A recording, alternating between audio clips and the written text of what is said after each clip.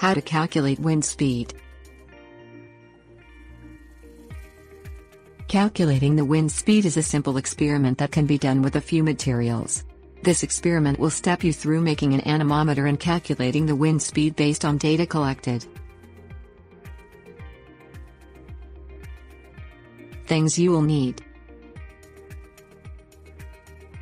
Two 7 inch cardboard strips, 4 paper cups, one colored red, pin or tack, a pencil with eraser, scissors, stopwatch, stapler, notebook, ruler.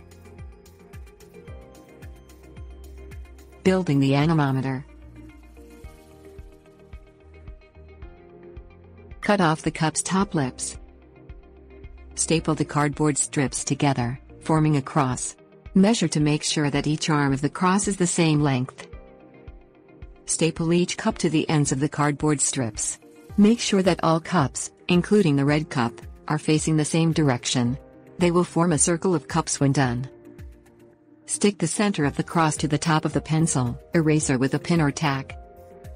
Blow into the cups to make sure that they spin freely in wind. Adjust as needed so that they move easily. Calculating wind speed. Take your anemometer out into the wind. Hold it above your head, but where you can still count the number of rotations.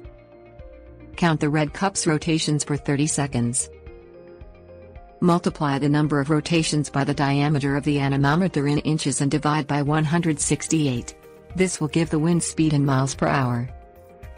Multiply the number of rotations by the diameter in centimeters and divide by 265 to get the wind speed in kilometers per hour.